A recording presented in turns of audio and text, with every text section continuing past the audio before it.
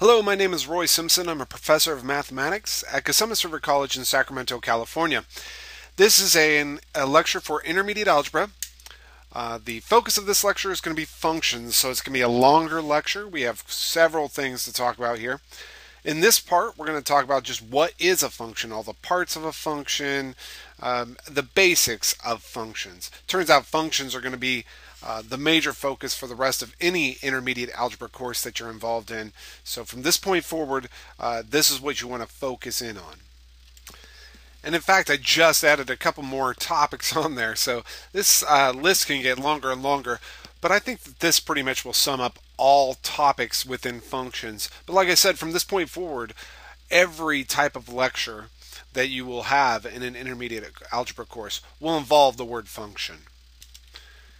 Now, any good conversation about functions really has to start with an idea of a relation first, because a relation is what we're kind of used to in mathematics up to this point all a relation is is a rule relating two or more variables to one another. And there are a lot of relations. In fact, almost everything we've done in mathematics is based on relations. For example, the volume of a cylinder is a relation. It's a relationship between r, h, and v, where r is the radius, h is the height, v is a volume. It just relates these two these three variables.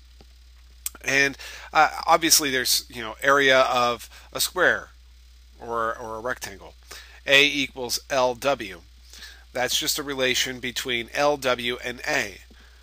Um, y equals 2x minus 1. That's a relation between the variables x and y. One more kind of relation would be something like x squared plus y squared is equal to 1. It's not a relation that you've dealt with yet, but this is just a relationship between x and y, right? If you let x be something, y is something else. But this is an example that I think we should focus in on anyway. So let's take a look at this. If x were 1, let's pretend, y would be, well, if x were 1, we'd have 1 squared plus some number is equal to 1. That some number would have to be 0. But if x were negative 1, y would also have to be 0. In other words, if I were to build a table of values here, and I let x equal 1, I'd force y to be 0. If I let x equal negative 1, I'd force y to be 0. If I let x equal 0, it forces y to be 1, or to be negative 1. And here's where the rub is, right here if I plug in the number 0 for x and I have a couple different options for y, so two options, then this is sort of an issue in mathematics. We don't like to have options. We like to say, hey, I plug in 0, I get out 1. Not I plug in 0, I get out 1 or negative 1. So this this is the issue with relations that are not functions. However, a function is the next step up in the, I guess, evolutionary chain in mathematics. It's what most of us in mathematics want to have. It's just a rule or a relation where each input, which is normally, initially when you're working with functions, your x variable, each of those x variables leads to a single output, which we normally, again, when you're first starting to work with functions, you call that the y variable. But after a while, we stop working with x's and y's. We can work with any letter we want. The idea is if you have some machine, some function where you plug something into it, you only want one thing coming out.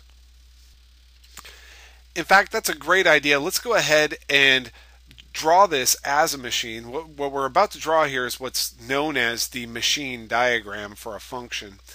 And essentially, you have some type of machine. And by the way, I did not make up this picture for a machine. It's just that this is the standard picture for a mathematical machine. Anyway, you have some type of input that you plug into this machine. And if you can imagine, this is a box that you cannot see into, that machine does something to that input, and out pops some type of output. But the idea here is that it's a single output, not two outputs. Now, so far, I haven't really mentioned anything about equations or graphs or tables or anything like that because I want to keep this discussion very, very general. But I still need to introduce a little bit of some definitions here. The input we normally call the independent variable. It's what we get to kind of play with. It's what we get to choose to plug in. And what pops out completely depends upon that, and so we call that the dependent variable. So I suppose that we could rewrite our definition of a function, although it's not really necessary, but it's some people like to see uh, a proper definition for a function. Uh, so we can rewrite as a relationship between two variables where each choice for the independent variable leads to a single possibility for the dependent variable. Again, it's just a machine. You plug something in, and you get one thing out. Now, I put a little asterisk right there under 2 or above 2 because in the future you can have functions that have more than two variables. You can have 10 variables. Uh, so that if you ever read that a function is a relationship between two variables, that's sort of a lie. It's, it could be between many variables. let's try to get an idea of what a function really truly is here by just taking a list, a pool of names, and I'm not taking every name in the world, I'm just taking names of people. Let's say these are specific people in your class or that you know. So let's say you know a guy named John A, and you happen to know a girl named Jessica um, C, and Navpreet A, and Keisha R. Okay, so th- there are four people that we're going to be talking about. And let's pretend we have a list of shoe sizes over here 11 and 9 and 3, 5, 8, 2, um, and uh, 14. Okay, notice that this is just a pool of objects over here and a pool of objects over on the name pile. Now, this can be a function. If we had some machine that we could pop a person's name into and it leads over to their shoe size, then this could be construed as a function. And let's just have Navpreet come over here. There we go. And Keisha I don't know if there's actually a size three shoe. I have no I have no clue. I don't buy shoes that often. So but let's just pretend that this is how it works out. Notice that in this case, um, each person's name leads to a single output. This is a function. You give John's name, out pops the number 9 because that's his shoe size, and so on and so forth. Now let's see what happens when we adjust this slightly. Let's suppose that Jessica also wears a size 8. Does this make it not a function? Well, let's see. John A, when you plug his name into the machine, it pops out the size 9. When you plug Jessica C's name into the machine, it pops out 8. So she has, you plug her name in, it responds with one value. Navpreet, you plug her name in, it also responds to size 8, but you plugged her name in and got one value out. And Keisha, you plug her name in and you get the size 3. So again, this is still a function. This is actually a function still because each person doesn't have two possibilities for shoe sizes. They just have one. Now here's where it's not a function. Let's take, um, actually I'm not going to have to erase. Let's just pretend that Keisha has two weird feet. One is size 3 and one is size 2. Now, again, I plug in John's name. It leads to 9. I plug in Jessica's. It says Jessica. I just I just realized that. Sometimes I write fast. I don't pay attention to what I'm doing. Jessica's name you plug in leads to size 8. Navpreet's name you plug in it leads to size 8. But Keisha, you plug in her name and it could lead to either 3 or 2. Once you say that, that either 3 or 2, then you know this is not a function. And that's the indicator is that if you have an input that you would normally plug in and it leads to two possibilities, you know it's not a function. This is where the world kind of starts falling apart mathematically because we, we want to plug one thing in and get one thing out. Here's another example of a function.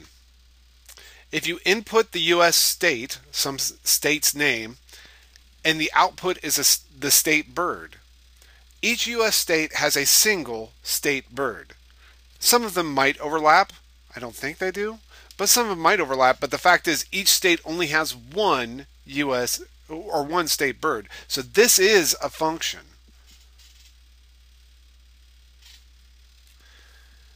However, I just looked it up, and the opposite is not true. So if you consider the input to be the state bird, and the output to be the US state, you will find that that is not a function. The reason why is because, for example, if you plug in the bird cardinal, you will get out, and I haven't looked through all of them, but I've I do I saw two of them at least.